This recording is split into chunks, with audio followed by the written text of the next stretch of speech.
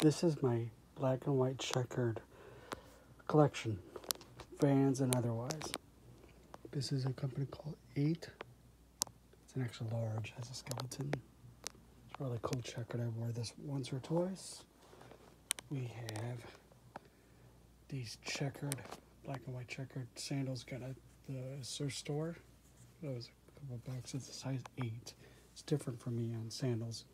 Vans, black and white checkered with a black theme shirt, a hat. Actually, I got this at Goodwill. This was gifted to me. This is a black and white checkered Vans dad hat. Brand new from PacSun and Blue Dot. Probably needs clearance. Still has a tag. $27. So it was on clearance. And we have slip-on black and white checkered slip-on, just like from Fast Times at uh, Stand High. Put this together.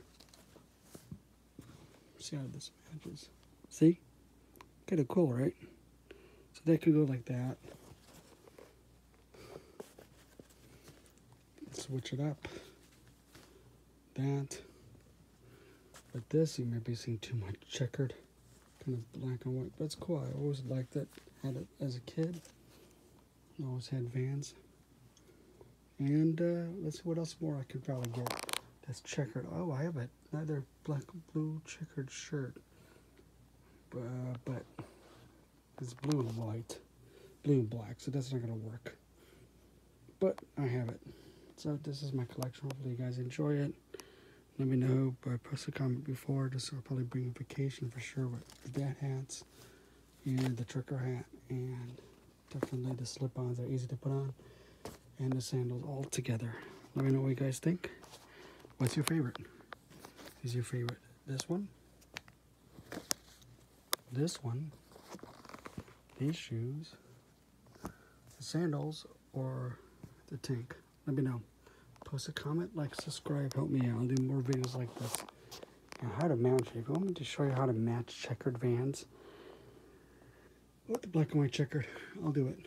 Uh, you have to go subtle. Black, denim, gray would look good, dark blue, even uh, like khaki would look good. Gray for sure.